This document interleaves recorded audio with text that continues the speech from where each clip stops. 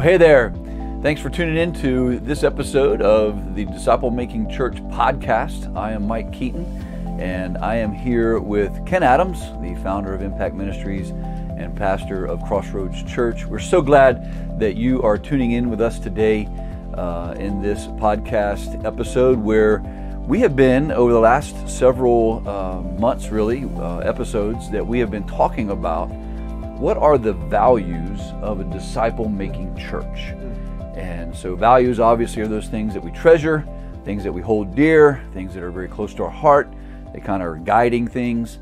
And so, we've been talking about that, Ken. Uh, we've been talking about being culturally relevant. That's kind of where we started. Uh, last time we talked about being relationship centered because we know disciple making is all about relationships. And today we're going to talk about a value called organized for growth. So we're glad that you're tuning in with us, and uh, we just love the opportunity that we have to, to meet you here like this, as well as just have conversations about disciple making, Ken, something we both love. So, um, so that's what we're going to be talking about today, Ken. And um, we want to encourage you to just uh, to like the things that you see here, uh, to follow us. Uh, everything can be found and seen on impactdisciples.com. Uh, you can go there and uh, catch up on those last episodes if you haven't uh, seen those already. Uh, we'll catch you up to date with those and uh, we'll get started here today. Yeah, and share with other people. right? Absolutely, absolutely, Share share it. Yeah. Yeah, it's good. and at the uh, end of this, we'll tell you about some upcoming opportunities that uh, that are happening in the very near Yeah. future. Yeah, yeah, Mike, that's great, and you set it up well. And uh, you know, I would just reiterate that uh, you know a lot of times churches have uh, have really kind of uh, figured out what the mission is. The mission's to make disciples of all nations. A lot of churches know what their strategy is. Hopefully, it's going to be following the strategy of Jesus and doing it the way He did. But then also, uh, we need to have values, and right. so uh, uh, and, and we need to know what we believe. We need to have uh, our, our doctrinal statement figured out. But sometimes uh, people don't spend as much time thinking about what are the values that guide us. And so uh, you know yourself that churches uh, churches rarely split over doctrine. Denominations do, but churches usually split over philosophy or values or methodology. And That's so right. uh, that's why we're focusing on this because That's really good. uh, these values that we're talking about, they really should be true for every church. But I can tell you this, because we've been working on trying to be a disciple making church for uh, 34 years, we have certainly said or found that these biblical values, they got to be biblical values, that they are, they help guide us and they really create unity. So uh, today, like you said, we're talking about organized for growth. And, and you know, the thing that we all know is that, uh, is that healthy things grow right. healthy things grow. Uh, healthy people grow, healthy children grow, uh, a healthy yard grows, a healthy garden grows, and healthy organizations grow, and a healthy church grows. Right. And so, if you don't see growth, then guess what? That means there's a lack of health, uh, because things that are not healthy uh, end up dying. Mm-hmm. And so, uh, so what we're trying to do is we're trying to uh, to be an organization, to be a church, where uh, where two things happen: where people grow, and then as a result of people growing, the church grows. That's right. And that's what we see in the we see it in the scriptures too, don't we? Right, that's right. And I, I, I like the distinction you make, Ken, about the, the, the church or organization part of it growing, but also the people. And really, that's what what it's about is, Yeah. is helping the people grow. So when you hear the words organized for growth, I mean, there's so much out there about church growth and how to grow a church and all these things, you know. And sometimes that could just look very simply like more people on, on, on your weekend gatherings, you Yeah, know. yeah. Uh, and certainly that's part of it, I think. But That's, that's the not- result of it. That's the fruit of it. Right. But what we're talking about is a little somewhat different in terms of its nuances and specifics. So why don't you just kind of dive into that Yeah. organized part a little yeah, bit? Yeah, yeah, that's uh, that's a great thought, and in fact, it, it, it brings me back uh, to the way that that played out in my own mind, in my own heart, years ago when we were just starting out as a church, and we we had just planted. It was in like about the first year, maybe first year and a half, and Mike, I got to tell you, because I knew that this uh, this little church plant meeting in a school, uh, man, I knew that it had to grow, and so I was doing everything in my power to make it grow. And honestly, I wasn't being very healthy Mm. because I was, I was going to breakfast about uh, three or four days a week. I was going to lunch every day of the week. I was dragging my wife to people's house every every night, and I was really trying to make this church grow. Right. And I actually went to a conference. Uh, at a at a church that was a growing church because I thought if this thing's got to grow, I got to go see how other people are doing it. And I will never forget. I was at this conference. Uh, I walked this this pastor walked out on stage. Very first thing he did, he had a Bible in his hand. He sat on a stool. He had a microphone, and there's about four thousand pastors in the room or leaders in the room. And he makes his statement. He said, "We didn't go. We didn't set out to grow a big church. We just set out to grow big people." And for the next two days, uh, he literally convinced me that that was what they did. And I came back to our little church plant, and there was a small circle of people in the cafeteria of the high school. And I said, guys, I got a confession to make. Is that I've been leading our church, but I've been leading it the wrong way. And uh, and I got to let you know that we will do two things going forward. Is that number one is that I will uh, I will be as best I can an authentic disciple of Christ, and I will help build other people to be authentic disciples of Christ. And I'll leave the church growth up to God, and I'll let I'm gonna stop trying to grow our church. I'm gonna try to grow people, and we'll let God grow the church. That's amazing. And guess what? He has. well, that's the way it's supposed to work, right? It's exactly how it's you supposed know, to work. he said that he would build his church. That's you know, exactly in right. Matthew 16. So uh, he would build his church, and it's Yeah. not. It takes so much pressure off of us, it's Yeah. just that, or off of you as a lead pastor or any other lead pastor out there. And it's not your responsibility to grow the church. And Yeah. so I think that's what we think. I heard somebody say it like this one time.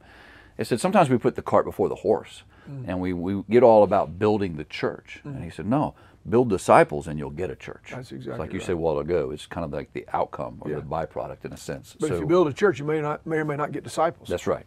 That's right. So, and you know, as long as I've known you, Ken, uh, that decision point that you had uh, has stuck because has. that's what you've been after and you've been driving, and that's why we even do this right here. That's exactly is to right. help you uh, and Yeah. us all uh, fulfill the mission by building disciples. So, and making disciples. So. So unpack it a little bit further for our viewers, uh, what it looks like or means to be organized for growth. So I, I, I would think a couple things are important. One is, uh, first of all, you need to have a you need to have a process or a pathway. Some people like to call it a pathway, where when a person steps in steps out of culture and steps into the crowd where people typically go, is that how do you get them from really being what we would call untrained to becoming fully trained? How do you get them there?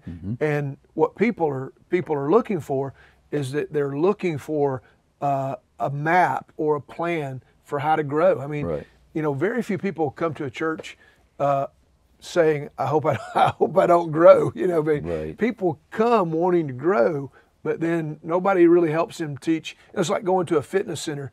You got all this equipment, you got all this stuff. You go to this gym, this health club, or whatever you call it. You walk in, you go, "How do I use it?" Because I want to grow. I want to. I either want to. I want something to change. I either want to get bigger, or I want to lose, or I want to do something.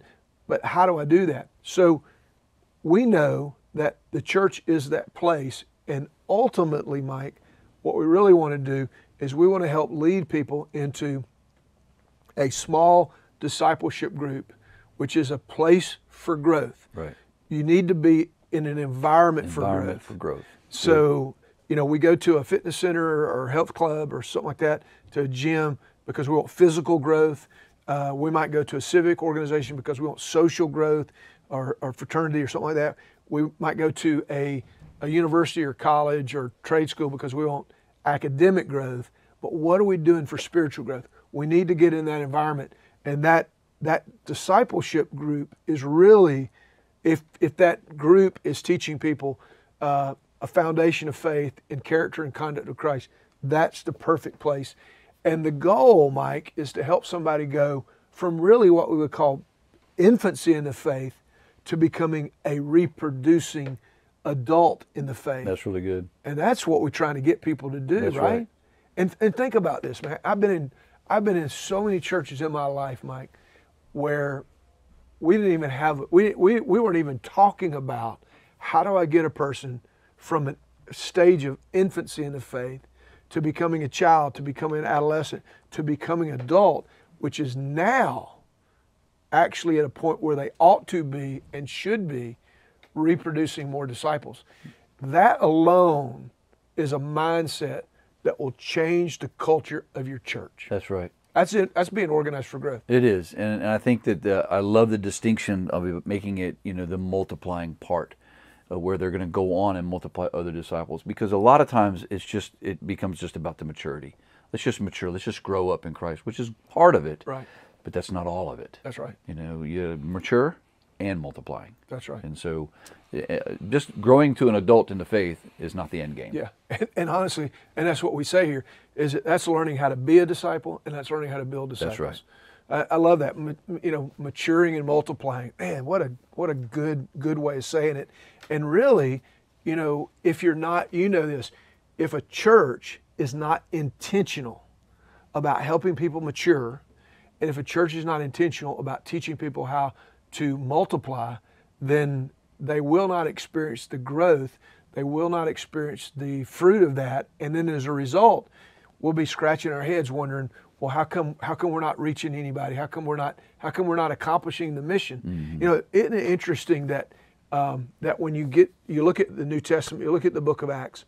So in Acts chapter one, uh, you know, you got these group of believers that are just afraid for their lives, and then in Acts chapter two, you know, you have the the, the, the Pentecost, and then the church begins to develop, and they really start fleshing out, you know, all these really the conduct of Christ, and they mm-hmm. start, you know, growing together, worshiping together, serving together, sharing their faith together, managing their resources. They, they belong together. All these things are happening that are becoming a part of who they are.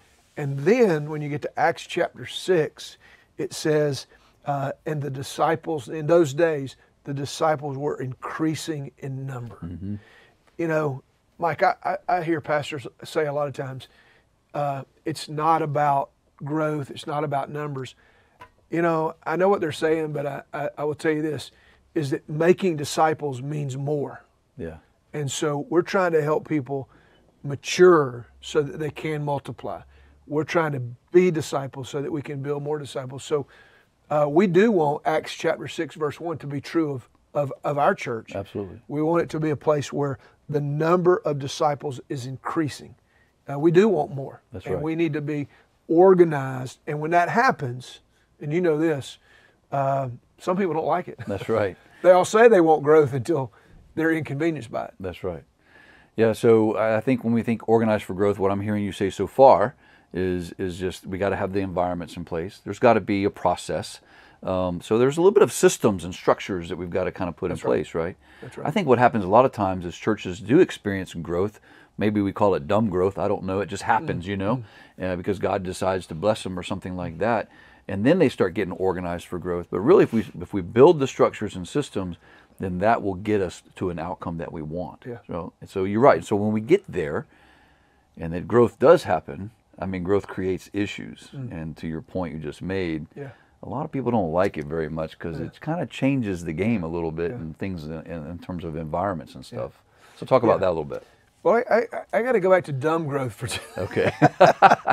because that's the first time I ever heard of that statement. But that is that is honestly so true, man. Well, You know, sometimes it it's just happens. you Yeah, know, yeah. Unintentional growth, right? maybe that's the better word. Yeah, yeah. So uh, I like dumb growth. That's And if God brings it, He can't really call it dumb, I guess. but, That's yeah. true, man. But that'd be a good article to write right there, a good blog. But uh, but no, once you have growth, you know, you have growing pains. Right. But you know what? If you got a child, you want your child to grow. And so that means you got to buy more clothes and you got to you got to buy more food and you got to get more I mean, growth has challenges and it is sometimes inconvenient and uncomfortable because growth stretches us. And you can either have one or two things. You can either have a growing church or you can have a plateaued church or a dying church. Three mm, things. Yeah. And so when you think about the alternatives, when you think about, oh my gosh, so yeah, we may have to add more services, get people to come to, you know, more more different times, that kind of thing. Uh, it in the end, it is all worth it because the mission matters. Right. And so Uh, you know, it might mean I don't get to park in the same place, I don't get to sit in the same seat, and quite honestly, those are conveniences that we just get very comfortable with and in the grand scheme of things and in light of eternity they really don't matter mm. and we need to be willing to we need to be willing to do what it takes number one to have growth in our own lives and then number two we need to be willing to do what it takes to see the organization grow That's to be right. able to uh, to start new groups yeah. you know if you have a little small group and you really like everybody and everybody's comfortable and everybody wants to stay together if you're going to be growing you're going to have to change That's and right. you're going to have to start in other groups. That's right. Which means structures will have to change, things will have to change, environments will have to change. And people don't like change. That's right. You know, so that comes back to the leaders to cast that vision for that. That's right. And kind of keep people moving in that direction because of what you just said. The mission does matter yeah. most. So. And you know what you think about this is this is everything we're talking about is found in the life of Christ. That's right. Because when Jesus got ready to to head back to ascend back to heaven, he gathers his disciples and he says, "You guys go make more disciples." And so at that point, their group's going to launch, their group's going to birth, and they're going to go different ways, but they're going to continue to fulfill the mission. And that's such a big part of, you know, really helping a church to become a, a growing church. And so, you know, as you think about this, Mike, and you've you've planted a church and you've been a part of, you know, uh, our church and all that so what would you what would you say to maybe the pastor that's watching or the maybe church planter that's saying, you know, how do I how do I help people grow? Because if we're helping people grow and getting them to become reproducing, mature and multiplying disciples, the growth of the church, God will take care of the church itself. What would you what would you say to that person that's listening today going, how do I make this work? Well, I think I would definitely just, you know, I've always emphasized the mission and giving your life to the mission. And, you know, I think if anybody has ever been in a disciple making environment of any kind, even if you want to just simply think of that as a discipleship group, they certainly have experienced growth in their own life mm-hmm. and life change as well. And that life change has affected probably everything about them their family, their home, their work, you know, everything. And, and I think, okay, well, don't you want that for someone else? Mm. And so, what I would say is just give your life for the mm. mission and get involved with that. You know, either on the being side of it first, you know, happening to you, and and then once it happens to you, then you build. You you you go after it and helping others. So you just be and build. So. Mm. I, it, to me, it just comes back to the mission. Just living your life for the mission, mm. and um, and yeah, I think all of us, even those who are in disciple making environments, you know, there, there's always going to be a push against mm. our our inertia towards selfishness. Mm. You know, to where we got to be pushed to think, okay, well, I got to give up this, like you were saying a while ago, my parking spot or something else. You know, mm. uh, for the sake of the mission. You know, we always have to fight against that. Mm. But I think the idea would be just to to consistently encourage them. Once you're in it and you've experienced it, then you know the power of it. So why not give your life to that? Yeah. And then when you're giving your life to it, you constantly are pushing others to do the same. And so, and I think that's how it grows. Yeah. So, Mike, I've been uh, doing a, I did a series a while back on these values in our church, and so uh, I talked about this idea of organized for growth. And so, uh, uh let's just take a minute and just watch a short clip uh, from that that message. Because what it means is is because we are organized for growth, is that we will value being structured for growth. Is that we will value being structured for growth. Now, I, I, I know that you guys don't think about this stuff very much because you just, you just show up on the weekends or you're involved, but you, get in my world for a minute. Here we go. Not only do we value growth, our entire ministry is designed for growth. Our entire ministry, this piece right here that you're in now, our entire ministry is designed to help people out there that are far from God that are untrained seekers ultimately become fully trained disciples of Jesus Christ. That's it. That's what we do. That's what we do. In fact, can I just ask you to think about this for a minute? If that's not what a church is doing, what on earth are they doing? If you're not trying to help people that are far from God becoming world changers, leaders for God, then what you're saying is that we just exist to help untrained seekers become untrained followers. What you're saying is let's just all come and be dumb together. I mean, literally, that what you're saying is let's just all show up every week and don't make any difference in the world. No, what we do in here changes what we do out there. Come on. This is not about us just taking care of us. This is not about us just singing things we want to sing here and things we want to hear. No.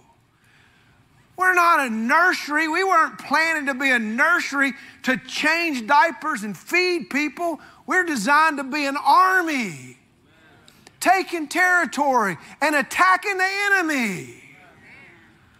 Well, that's a great uh, word there, Ken, and I appreciate you sharing that with our viewers. And as we kind of bring this to a close today, um, just want to remind our viewers that uh, something we say all the time, Ken, is that you know we're not the experts. Uh, we are practitioners, and this is why we do this, is because we are trying our hardest to flesh it out in our context, uh, but we also have the heart to help share what we've learned, and so uh, we have all kind of opportunities for you. Uh, if we can be of help to you, obviously we have tons of resources at impactdisciples.com. Uh, you can just go to the free resources section. There's things there you can download, things you can do. There's also all kind of things that we, we do provide that you can purchase, like curriculums and so forth. Mm-hmm. Um, so there's discipleship or disciple making seminars. We can come to your context and, and share some of these principles. Uh, we do disciple making equipping groups or, or disciple making pastor equipping groups, which are online groups. Mm-hmm. We got several of those going on. And uh, a real big event that we definitely mm-hmm. want to invite you to is coming up. And Ken, it's really not that far away. It's not far Why don't you all. tell them what's going to happen in January? Yeah, January 26th and 27th. That's a Friday and a Saturday. We have our annual Disciple Making Summit. It really is a place to come learn all things about how to be a, a multiplying disciple making church. And so uh, we'll have some pre-conferences on Friday that will begin that morning, and then we'll also have uh, several main session speakers beginning Friday night and Saturday. Uh, it's going to be at our um, our Sharpsburg campus on Highway 16. All you got to do is go to uh, impactdisciples.com and you get all the scoop and all the information on how to register and what those pre-conferences are and what those main sessions will be like. And all I can tell you is this: if you got uh, a desire at all for learning more about what does it mean uh, to really make disciples that multiply, this is the seminar for you. This is the conference for you. It's a, a once a year event and it'll be very, very minimal cost and it'll be well worth you coming and bringing a team from your church. So we love to see you there. I think, I guarantee you, uh, you won't regret it. Yeah, definitely. South Making Summit, uh, last weekend of January. encourage you to come and uh, don't forget to like, and share. And thanks for watching today. We'll catch you next time.